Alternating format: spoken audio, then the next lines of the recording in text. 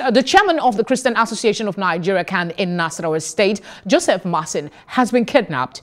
His kidnap was confirmed by the police commissioner in Nasarawa State, that's Bola Longe, on Thursday morning. Longe told journalists in Lafia that the bishop was taken from his house in Bukan-sidi in Lafia around 12.39 a.m. on Thursday. He said that the police have mobilized officers as well as hunters to free the cleric.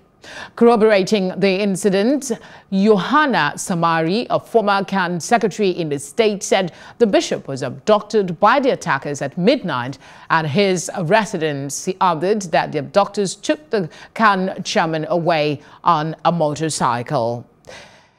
Joining us now via Skype is a security analyst and the former assistant director DSS, Dennis Amachree. Thank you for joining us on the news. Good morning. Good morning to you. Even with the COVID-19 pandemic, we're having instances like this, the uh, chairman of CAN in Nasarawa State being kidnapped. What's your initial reaction to uh, this continuing uh, kidnapping? I think we have not been able to uh, address this kidnap issue in Nigeria.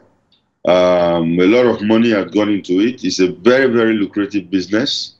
And then those who go into it have not been brought to book. Uh, between 2011, I think, uh, and now, we've spent uh, billions, billions of naira. And uh, those who have been arrested have not even been sent to jail. So it's a matter of um, coming out with a very, very strong uh, uh, um, uh, strategy on dealing with it. Either we are going to go for zero zero tolerance or discourage people that you cannot be paying ransom and make sure that um, it becomes very unattractive to to these guys. Uh, his abductors, we understand, has contracted, uh, contacted the family and are demanding 20 million naira ransom. Do you expect they will get this money? Well, it has been a situation in Nigeria where people have been paying. You see, that's why I'm saying that there should be zero, zero tolerance because if people are paying, um, they will ask for it. If they have a very good negotiator, uh, they can negotiate it down to very, very the barest minimum. Or, in fact, uh, we've had cases where uh, religious leaders have been uh, uh, kidnapped and without paying the ransom, they were killed, they were beheaded. so these are things that we have to consider. Either we want to take some collateral damages and make sure that we don't pay for ransom anymore, or we strengthen the security system where we have to track down these people. Because collecting that ransom is the critical part of kidnapping.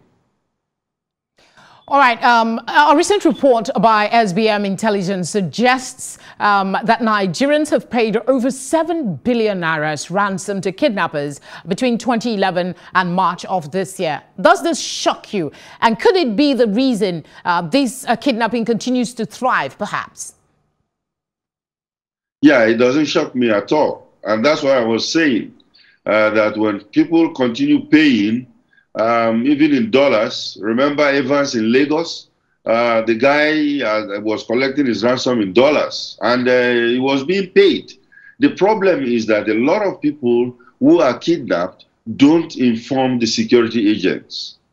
And then they'll go ahead and negotiate by themselves. And then, of course, when the ransoms are demanded, they go ahead and pay quietly and kept, kept quiet uh, without allowing anybody to mention it. But a lot of money is going into this. And I think we this is the time we have to face uh, uh, kidnapping and to stop it.